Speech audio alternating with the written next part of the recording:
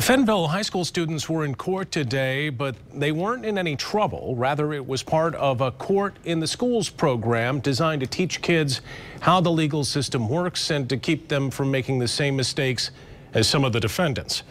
24 Hour News 8's Marley Ginter has more on how this program works and how it was received today in school, Marley. Well, Brian, even though today's proceedings were in a high school auditorium, they are legitimate cases with real defendants.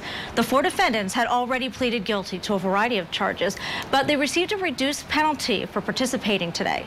Judge Joseph Skocelas has been running this program for years and says he's brought it to every high school in Allegan County.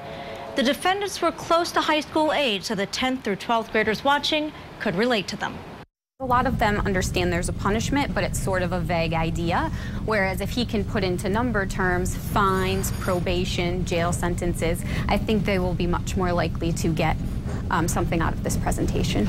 And it looks like they did after the presentation. There was a Q&A session where students got to ask the judge and attorneys about their jobs and today's court proceedings. Back to you.